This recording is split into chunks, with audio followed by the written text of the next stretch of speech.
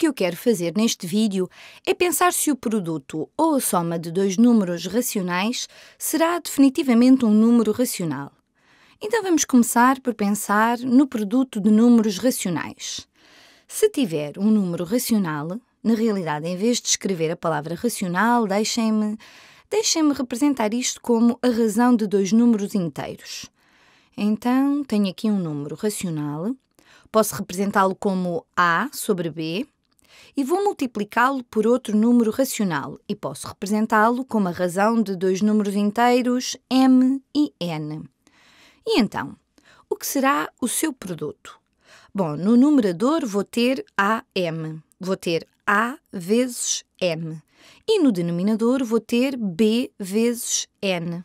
B vezes N. Bom, A é um número inteiro m é um número inteiro, então temos um número inteiro no numerador. E b é um número inteiro e n é um número inteiro, então temos um número inteiro no denominador.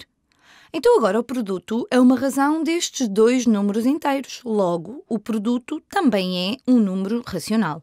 Portanto, isto também é um número racional. Se fizermos o produto de quaisquer dois números racionais, vamos ter um número racional. Agora, vamos ver se isto também é verdade para a soma de dois números racionais. Então, vamos supor que o meu primeiro número racional é A sobre B, ou pode ser representado como A sobre B, e o meu segundo número racional pode ser representado como M sobre N. Bom, e como é que adicionamos estes dois?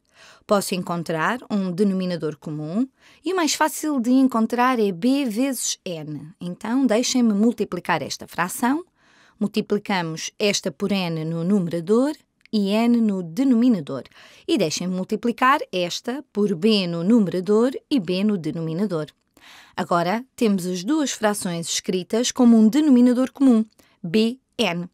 Então, isto será igual a an, an mais bm, mais bm, tudo sobre, tudo sobre b tudo sobre B vezes N. B vezes N. Então, B vezes N. Acabamos de falar nisto. Isto é definitivamente um número inteiro. E depois, o que temos aqui? Bom, temos A vezes N, que é um número inteiro b vezes m é outro número inteiro. A soma de dois inteiros será um número inteiro. Portanto, temos um número inteiro sobre um número inteiro. Temos a razão de dois números inteiros, então a soma de dois números racionais será outro racional.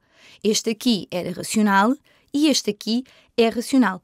Portanto, se fizermos o produto de dois números racionais, obtemos um número racional, e se fizermos a soma de dois números racionais, obtemos também um número racional.